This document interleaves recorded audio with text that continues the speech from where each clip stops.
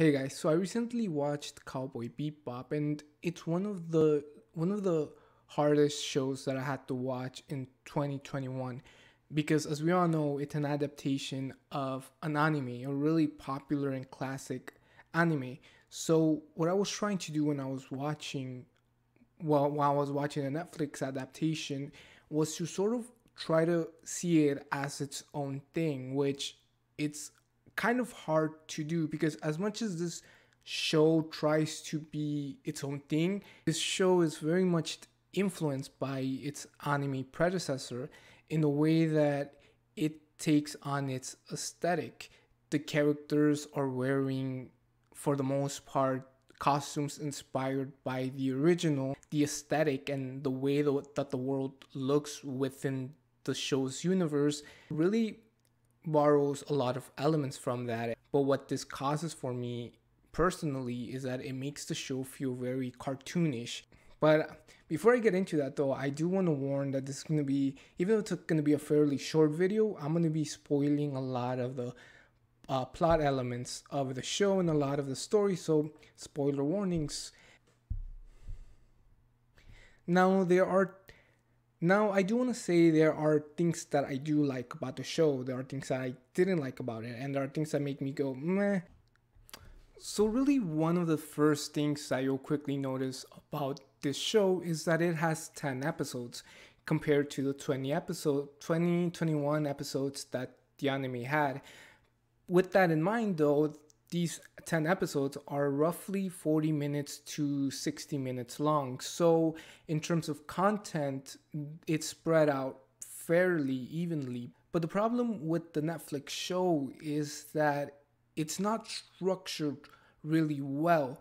It's also come it also comes out at a different time where where the shows that were given are usually serialized and less episodic and there are episodic elements to some of the episodes, but for the most part, the show focuses on the overarching story of Spike, Vicious, and the Syndicate. So there may be standalone episodes where we follow them going after a bounty, but then we'll also get a lot of scenes with uh, that flesh out the story with Julia and uh, Vicious and their plot to basically overtake the syndicate. And for me, that's a huge detriment because we get a lot of showing and telling, and that subtlety that was in the original story, it's gone here. We see everything. And in a show that's only 10 episodes, still juggling with all these different stories between Faye, Jet, Spike, Vicious, Julia, there's a lot to go around, so it feels cramped. The romance between Spike and Julia, there's no time for it, and it feels like it's just this one night stand, and uh, Spike just became infatu- infatuated with her. And then all of a sudden, there's a plot twist, and Julia wants to take over the syndicate, and they don't really explain why. She never really had those aspirations before, we never saw them. But I think one of the major changes that they made was, which was one of the worst changes, was that they altered Jet's um, storyline, that they made Jet a father. He's framed by a police officer as being a dirty cop. He's sentenced to serve years in prison. He comes out. His wife has married another man and his daughter is essentially being raised without him and he's trying to find money to provide for her which for me doesn't really make sense if he wants to be there for her. You know there are times where he's afraid that he's gonna miss his daughter's recital or little things like that and you're and i'm thinking the jet from the anime would have if he had a daughter he would and even if he was divorced he would have stayed near her and he would have gotten a job near her and he would have been there for her. It doesn't make sense for Jet to be out there in space finding bounties with Spike.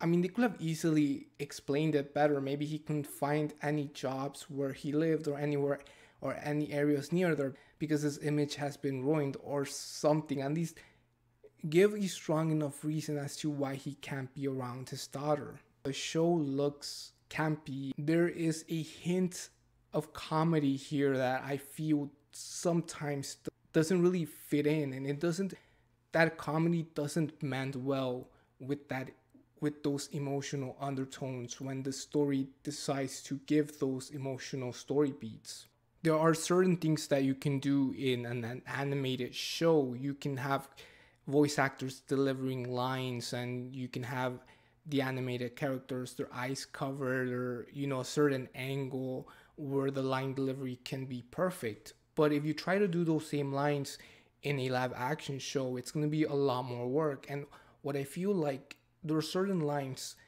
that are set especially by spike where it just it comes across as awkward or it just it comes across as rehearsed. And I feel like Spike, his actor, never really became Spike. Maybe it was a costume, maybe it was his line delivery, but there was something that I really felt held him back. I like the actor, and then for me, one of my favorite changes, but also the worst, was the way that they characterized Faye.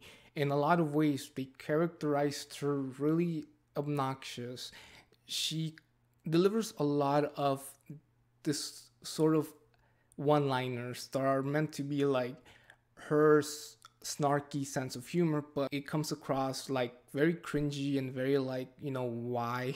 It's very cringy and corny, and I feel like it takes away from the character, but in other ways, the show did a really good job at altering her character because it goes deeper into her story of being unfrozen uh, we meet her when she's already been two years that she's been out in this world. She meets up with the the person that basically conned her out of money and out of her identity kid and who pretended to be her mother when she first woke up. And it's a really interesting dynamic between them because there's an episode where Faye sort of explains how she has no reference for anything. She woke up without her memories. And what's really nice about introducing this woman and making her a character that Faye interacts with is that we sort of get why she acts the way that she does. Her reference is this woman that she spent time with, and that woman that she spent time with was a con woman who lied and manipulated people. And it's interesting the way that the show subtly tells us how or why Faye acts that way. And, and then we have Vicious, who for me is a character that works best when we don't, we know of him, but we never really see a lot of him. And in those scenes that we do see him and he's menacing, he's vicious, and it's creepy and it's and it works very effectively but in this one one of the few characters that we get to see his life sort of play out in a more linear fashion where we get to see a lot more of who he is compared to the other characters. And although in some ways it should be a good thing it's not. And even then as i said before this this show is a lot more serialized. So they make the decision of having vicious um be a lot more connected with the story and it makes the world feel a little bit less bigger like, for example, it's Vicious who hires Le Fou to hunt down Spike, and that's the reason why Spike has that confrontation with Le Fou. Instead of in the anime, he it's Spike just randomly comes across him while Le Fou is escaping prison. There are other little moments like that where it would have been a random chance or bounty in the anime. Here, it's really Vicious trying to move, move things from the background. We wouldn't have gotten any other characterization of Vicious beforehand and maybe a couple of glimpses, and we would have only gotten episode 9. Maybe it would have been better. So I'm not really sure who this show is for. They never really do anything to make it stand up as its own thing. There's never really an iconic scene within the show that works in service of itself. It's always really just feels like a reference or like a recreation of the scene from the original. And they do try to make the story be its own thing, but they do it in the worst possible way. The people who are going to be watching this show, I think, are going to be fans who are going to be disappointed. And then it's going to be like people curious about what the hype is or if it's as bad as people say.